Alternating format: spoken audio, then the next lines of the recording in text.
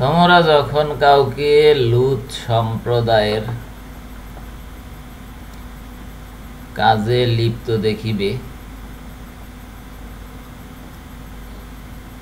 অর্থাৎ সমকামিতায় লিপ্ত দেখিবে,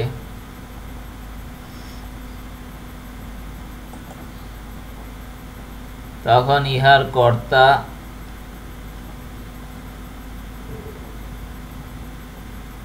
এবং যাহার সাথে এইরূপ করা হইবে, উভয়কে হত্যা করিবে।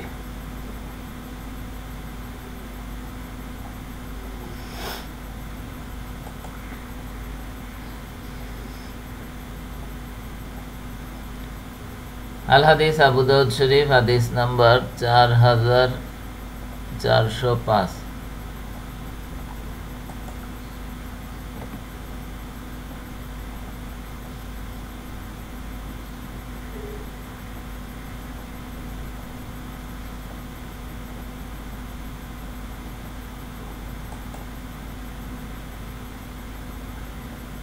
যদি অবিবাহিত ব্যক্তি সমকামিতার সময় ধরা পড়ে,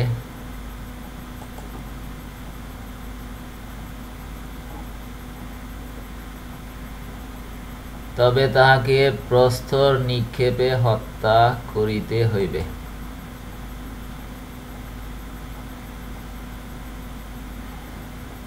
আল হাদিস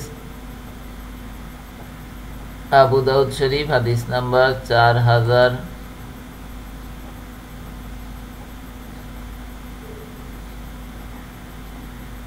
চারশো ছয়।